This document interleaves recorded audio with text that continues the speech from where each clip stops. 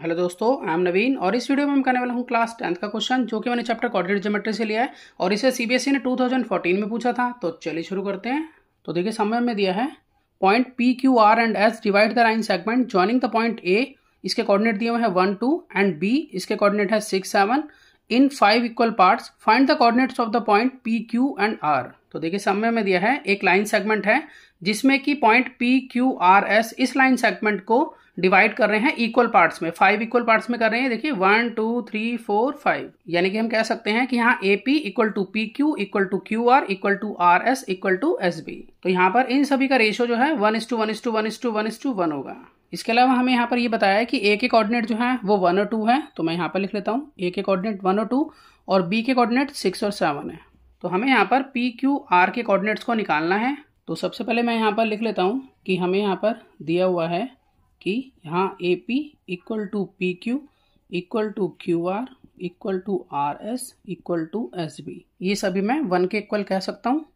तो और देखिए, अगर हम यहाँ पर एक छोटा सा रफली फिगर बना ले इसी लाइन सेगमेंट का, यहाँ पर ए है, यहाँ बी है और इधर पी है। जब ये सब one is to one is to one ratio में है तो यानी कि ये वन रहेगा और बाकी जो है हमारे पास वन टू थ्री फोर तो यहाँ पर हम लिख सकते हैं कि इस तरह से ए पी और पी बी जो है one is to four ratio में डिवाइड होगी। तो इसलिए मैं यहाँ पर लिख लेता हूँ कि here P divides the A B in the ratio one is to four then हम यहाँ पर पी के कोऑर्डिनेट्स के लिए सेक्शन फॉर्मूला का यूज़ करेंगे। तो मैं यहाँ पे लिख लेता हूँ कि पी और यहाँ पर section formula M one plus M two यहाँ लिखते हैं। फिर अपॉन में M one plus M two यहाँ पर आता है एक्स टू यहाँ है एक्स वन फिर कॉमा यहाँ पर वैसे ही M one plus M two यहाँ पर M one plus M two यहाँ आएगा वाई टू यहाँ आएगा वाई वन एम वन हमारा वन होगा एम टू हमारा फोर होगा। तो अब मैं यहाँ पर इसको पुट कर लेता हूँ। देखिए एम वन एम वन यानी कि one X two X two यहाँ पर होगा हमारा यहाँ सिक्स फिर प्लस फिर एम टू एम टू यहाँ फोर है multiply X one X one हमारा यहाँ वन होगा। अपॉन में M one plus M two यानी कि वन प्लस फोर कॉमा फिर एम वन यानी कि वन अब आगे है वाई टू वाई टू यानी कि सेवन प्लस उसके बाद है एम टू एम टू यानी कि फोर मल्टीप्लाई फिर वाई वन वाई वन यानी कि टू अपॉन में वन प्लस फोर यानी कि M one plus M two यहाँ पर हम इसको सॉल्व करेंगे तो हमें पी के कोऑर्डिनेट्स मिल जाएँगे। तो देखिए यहाँ हम लिख सकते हैं सिक्स वन जा सिक्स फोर वन जा फोर अपॉन में फाइव कॉमा यहाँ पर सेवन वन जा सेवन यहाँ फोर टू जा एट और फोर प्लस वन फाइव। हम यहाँ पर इसको और सॉल्व कर लेते हैं। तो हम लिख सकते हैं पी यहाँ पर टेन अपॉन में फाइव, यहाँ पर फिफ्टीन अपॉन में फाइव। तो ये कट करेंगे तो फाइव टू जा टेन और यहाँ पे फाइव थ्री जा फिफ्टीन।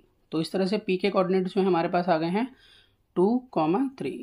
देखिए, अब हम यहाँ पर निकालेंगे आर के कोऑर्डिनेट्स को। तो अगर हम आर को देखें तो आर जो है वो मिड पॉइंट है पी बी का। यहाँ पर पी पॉइंट है, यहाँ पर बी पॉइंट है।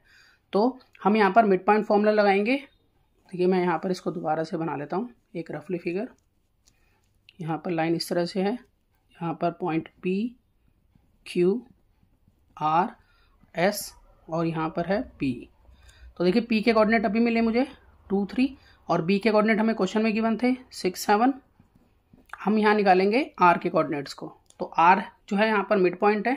ठीक है? पी बी का। तो यहाँ पर हम मिड पॉइंट फॉर्मूला लगाएँगे। तो मिड पॉइंट फॉर्मूला मैं यहाँ लिख लेता हूँ कि mid point of P B equal होगा X one plus X two upon में टू यहाँ पर Y one plus Y two upon में टू तो इस फॉर्मूले का हम यूज़ करेंगे। अब तो देखिए यहाँ पर हमारा एक्स वन ये है और एक्स टू ये है। ठीक है? तो हम यहाँ पर लिख लेते हैं टू प्लस सिक्स अपॉन में टू इसी तरह से हमारा वाई वन थ्री है। और वाई टू सेवन है। इसके अपॉन में टू करेंगे। तो यहाँ पर हम इसको सॉल्व करते हैं। तो सिक्स प्लस टू हो गया एट एट अपॉन टू और यहाँ पर टेन अपॉन टू यहाँ टू फोर जा एट और टू फाइव जा टेन तो इस तरह से आर के कोऑर्डिनेट्स आ जाते हैं हमारे पास फोर और फाइव अब देखिए, अब हम निकालेंगे क्यू के कोऑर्डिनेट्स तो यहाँ पर अगर हम देखें, ये है क्यू ठीक है? और क्यू जो है मिड पॉइंट होगा पी और आर का, जिसमें हमें पी के कोऑर्डिनेट्स भी पता है और आर के कोऑर्डिनेट्स भी पता है। अभी अभी निकाला हमने आर के कोऑर्डिनेट्स तो यहाँ पर भी हम मिड पॉइंट फॉर्मूला यूज़ कर पाएँगे, क्योंकि यहाँ पर ये मिडल में है। तो इसको मैं दोबारा से रफली बना लेता हूँ। अब देखिए पी के कोऑर्डिनेट्स हमने निकाले थे टू और थ्री और आर के अभी निकाला है हमने फोर और फाइव ये कोऑर्डिनेट्स हैं। क्यू के निकालने हैं तो मैं यहाँ पर निकालूँगा क्यू के कोऑर्डिनेट्स को। तो मैं यहाँ पर लिख लेता हूँ। Q is mid point of P R तो पी आर का मिड पॉइंट है।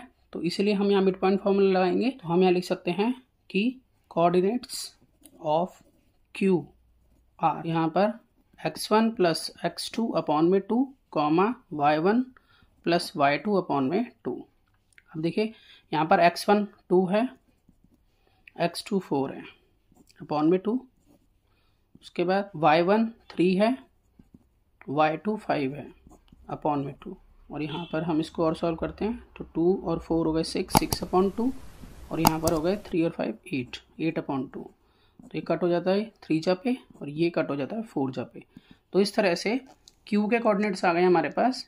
थ्री कॉमा फोर तो मैं आशा करता हूँ आपको सम समझ में आएगा इसी तरह के बहुत से सम्स क्लास टेंथ के लिए पहले से अपलोड हैं। आप उन्हें देख सकते हैं। तो मिलते हैं नेक्स्ट वीडियो में। और नए सम के साथ तब तक के लिए गुड बाय